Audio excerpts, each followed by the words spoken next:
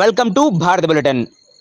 మాజీ ఎమ్మెల్సీ రాజంపేట నియోజకవర్గ Telugu Desam party in charge Batyala Changalarayudu పట్ల దురుసుగా వ్యవహరించిన కోడూరు ఎస్ఐ మరియు సీఏలను వెంటనే సస్పెండ్ చేయాలని తెలుగుదేశం పార్టీ నాయకులు అక్కడి ప్రజలు డిమాండ్ చేశారు.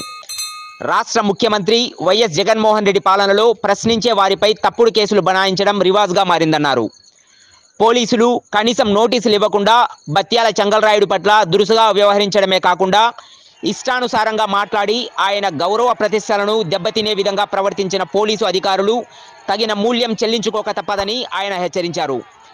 భారత రాజ్యాంగం పట్ల చట్టాల పట్ల గౌరవం లేకుండా పోలీసులు నిబంధనలను అతిక్రమించి వైసీపీ పాలనపై ప్రశ్నిస్తున్న బత్యాలను నడి రోడ్డుపై ఉగ్రవాది మాదిరిగా దౌర్జన్యంగా పోలీసు వ్యాన్లో ఎక్కించుకొని అరెస్టు చేయడం దుర్మార్గమన్నారు.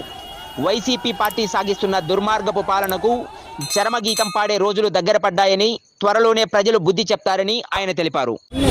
ముందు మంచినీళ్ళు తాగండి కాఫీ తాగండి టెంకాయ నీళ్ళు తాగండి అని అడిగినారు.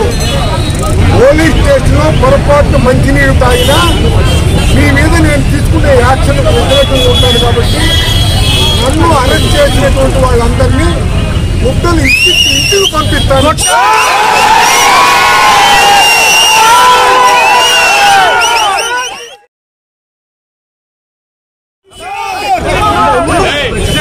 గుడ్డలు ఇప్పలేం.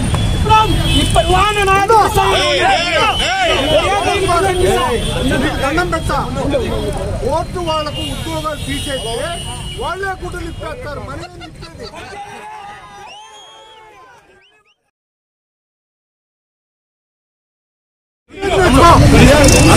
మనం గుడ్డలు ఇప్పలేం.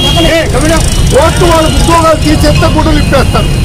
ఇప్పటి వరకు మనం ఉద్యోగాలు ఇప్పించాం వేల సంఖ్యలో.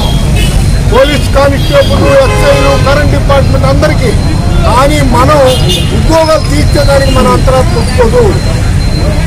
ఇప్పుడు జరిగినటువంటి సంఘటన అంతా గవర్నర్కు హైకోర్టు చీఫ్ జస్టిస్కు డైరెక్టర్ జనరల్ పోలీస్కు మన అడ్వకేట్ అందరికీ పంపించేసినాను. లోపల నుంచే పంపించేసిన. వాళ్ళ యాక్షన్ వాళ్ళు తీసుకుంటున్నారు. మీరు నరసింహ కాళ్ళు పట్టుకోవాలనేది మనకు ధర్మం కాదు.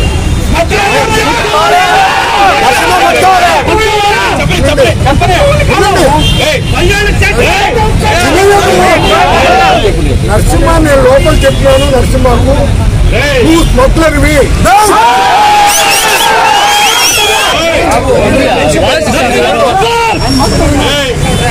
పెట్టినటువంటి చెత్త ఒక రోజుకు ఒక గంటగానే మీరు స్మగ్లర్స్ మీద పెడితే రోజుకు మూడు రోజులు బొమ్మకోలు మీకు దొరుకుతాయి?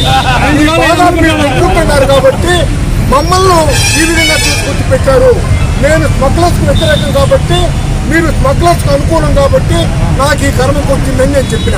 ఇది తప్ప ఒప్ప. నరసింహ!